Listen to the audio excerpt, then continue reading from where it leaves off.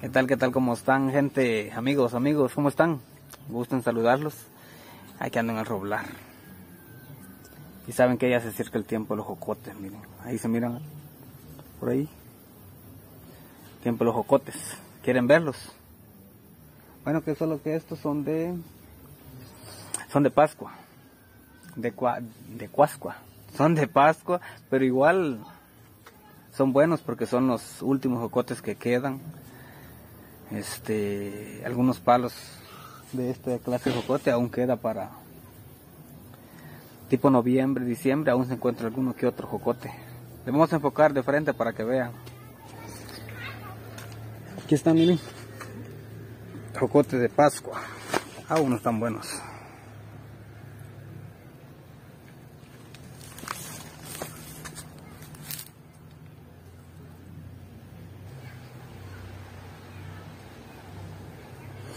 Puro jocote de Pascua, mis amigos. Bien tiene bastante este palito.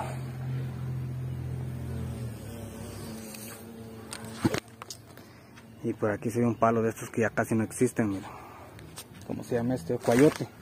Solo que este creo que es macho porque este no echa.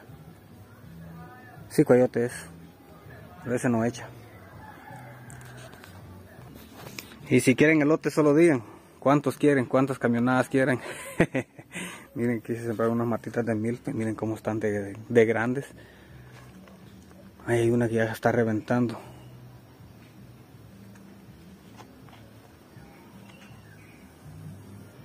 Una matita de yuca. Y se hizo un almácigo también de lo que es, ¿cómo se llama? Café. Pero este está pequeñito.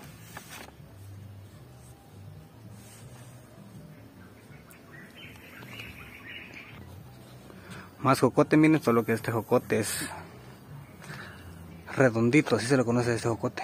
Jocote redondito. Es una mate de whisquiles, miren, ya no se compran los whisquiles. Para el caldo, para el caldo de pollo, alguna sopa de verdura.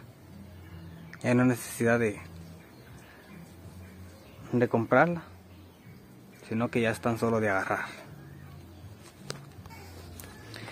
Y les quería mostrar este almácigo de café, miren.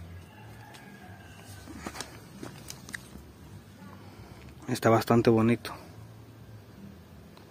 Pero yo creo que este almácigo pues no va a estar para este año, sino que para el próximo año. El próximo año se estará sembrando.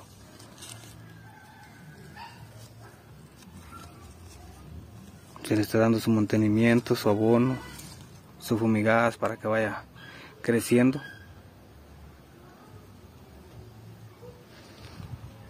Ahí está un bejuco de, de loroco. Vayan a ver los lorocos. Para el chile. Para asarlos, echárselos a los frijoles de caldo. Con limoncito. Vean cómo está bonito. Qué belleza del mácigo.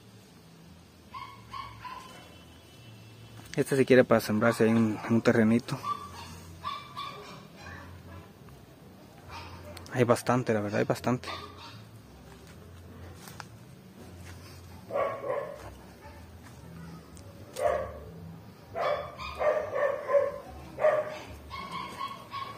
Este está bonito, mira, está más grande. Vamos a ver este.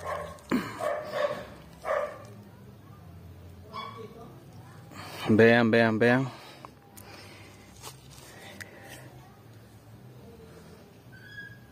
Aquí tenemos hasta la hierba mora, ya va a salir el caldo. Con una mata vamos a hacer caldo. Y fíjense qué curioso, miren, aquí solo es piedra. Aquí donde estoy ahorita situado solo es piedra. Piedra, piedra, piedra, piedra. Y ese palo de papaya nació solo por ahí. Y fíjense que ya he comido papayas de estas. Ha dado buenas papayas y miren qué palón se volvió. Allá tiene una, hasta arriba. Pero fíjense que sí, ha dado buenas papayas este palo. Y si lo ven, pues está situado en un lugar que solo piedra es. A las raíces las tiene hasta por encima, ustedes pueden darse cuenta. Y ustedes dirán, ¿y este qué onda? Nos quería enseñar nada más estas cosas. Pues sí, La verdad es que sí, les quería enseñar cómo, cómo el almacio, cómo van ya los palos de jocote, hay unas matas de milpa ahí que se sembraron de prueba para ver si el maíz en sí va a funcionar o no. Lo que pasa es que hay personas que hacen esto, que compran su maíz o tienen maíz guardado y hacen una prueba antes de, de empezar a trabajar su tierra para que su trabajo no va a ser por gusto. Yo por lo menos cuando siembro mi frijol nunca lo pruebo, ¿no? Que yo, como sé que es de un año anterior y sé que siempre me, me ha nacido, no lo ando probando y de un solo voy a sembrar. Pero hay personas que hacen la prueba antes de, de empezar a trabajar porque temen de que no se les vaya a nacer y que vayan a trabajar por gusto. Y como les dije también les quería mostrar el jocote, que ya, ya se viene el tiempo de los jocotes. Y la verdad es que esto era lo que les traía mucha. Espero que les guste y no olviden ahí dejar su, su like. Bendiciones, hasta la próxima.